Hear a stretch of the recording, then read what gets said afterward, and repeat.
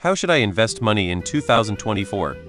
The critical question in 2024 is how fast interest rates will fall. The fact that interest rates will fall in many countries seems inevitable. Inflation has been falling around the world. Source FT. The full effects of the interest rate hikes have yet to be felt. Once they have been felt, interest rates are likely to fall. That is likely to be good news for the following assets long term government bonds. They tend to perform poorly when interest rates increase, and vice versa. Rate Real estate investment trusts are vulnerable to higher interest rates than some other assets, just like direct real estate. Real estate will likely stop falling in markets like the UK, but I doubt it will outperform some other assets mentioned above in 2024. The bottom line is that falling interest rates are good news for most assets.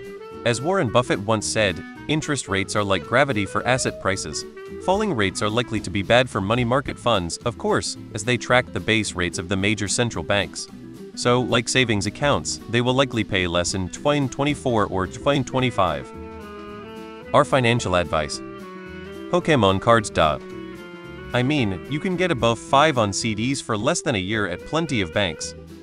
Go to the library, check out, and read John Bogle's The Little Book of Common Sense Investing. It will vaccinate you from all kinds of bullshit and show you a clear and simple way forward.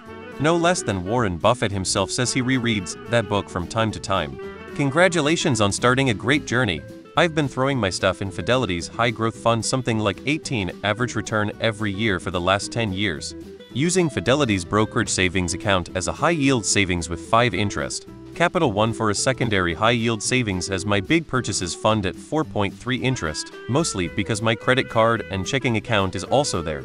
IMNO Financial Advisor BTW. Idea research accounts you're interested in. Check out mutual funds. Nobody can tell the future, but historically, it's been very hard to beat SP 500.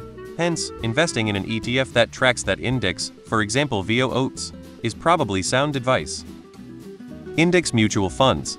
Sounds boring, but the returns are good and they tend to be less volatile than other funds EFTS stocks. Tesla,